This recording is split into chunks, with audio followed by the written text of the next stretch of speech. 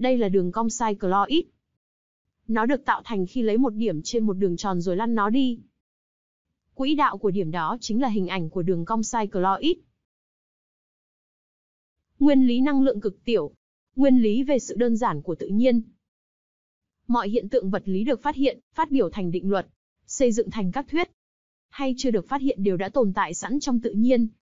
Vấn đề của con người là bằng kiến thức về toán học và vật lý học có thể biểu diễn, phát biểu, xây dựng một định luật, định lý, thuyết, để con người có thể hiểu hơn về tự nhiên.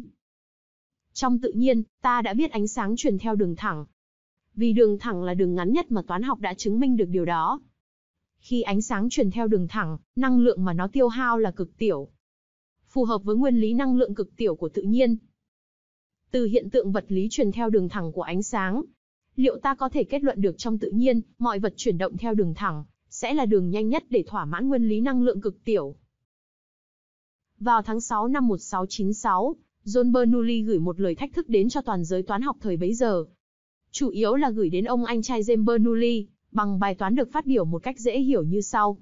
Nếu có một quả bóng lăn xuống từ một điểm trên cao đến một điểm thấp hơn, thì hình dạng đường đi phải như thế nào để thời gian di chuyển là ngắn nhất? Bài toán trên có tên là Brachiteron. Xuất phát từ tiếng Hy Lạp. Brachitos có nghĩa là ngắn nhất. Và Chronos có nghĩa là thời gian. Tiếng Việt có sách gọi là đoạn thời. Mặc dù đây là một bài toán mong muốn chứng minh bằng toán học, nhưng thực sự nó là một hiện tượng vật lý. Nên ta có thể trực tiếp quan sát qua thí nghiệm sau. Các viên bi được thả ở cùng một độ cao,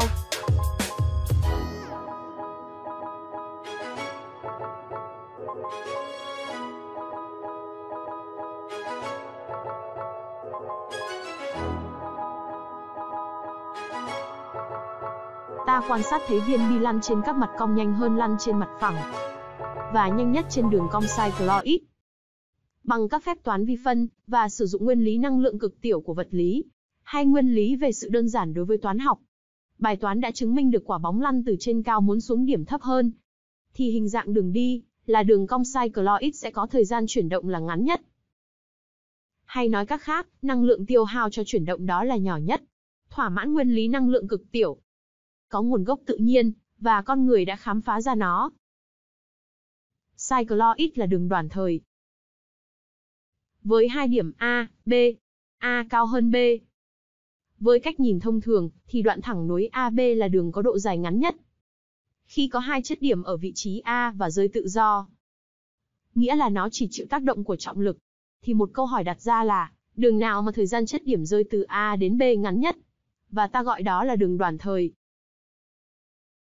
Câu trả lời không phải là đường thẳng AB, mà là đường cycloid nối hai điểm này. Như vậy, ta thấy được điều thú vị.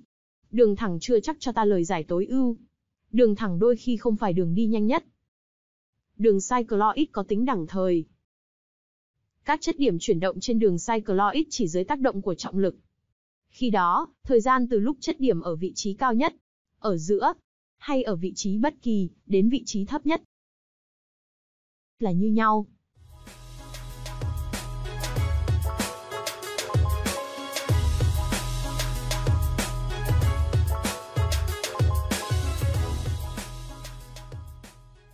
Ứng dụng thú vị của đường cycloid.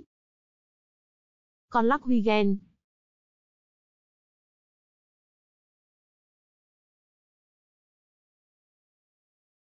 Năm 1665, nhà vật lý người Hà Lan Christian Huygens được coi là người phát minh ra đồng hồ quả lắc, đã phát hiện ra một hiện tượng vật lý đặc biệt. Đó là khi đặt gần nhau những chiếc đồng hồ,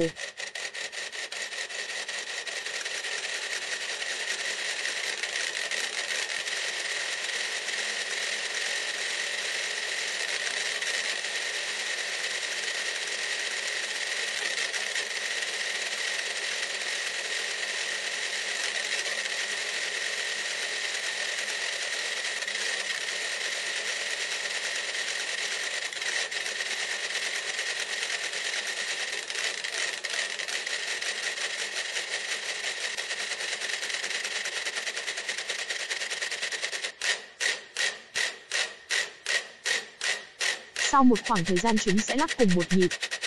Không phải một sự ngẫu nhiên. Điều này chứng tỏ xung năng lượng âm thanh có thể truyền qua không khí, và những vật kết nối hai chiếc đồng hồ với nhau.